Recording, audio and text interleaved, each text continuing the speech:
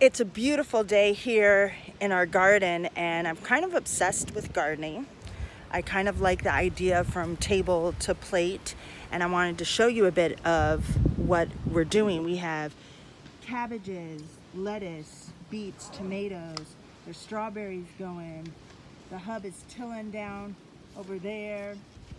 We have um, blueberries and, and beets things and these are our our um, cherry trees.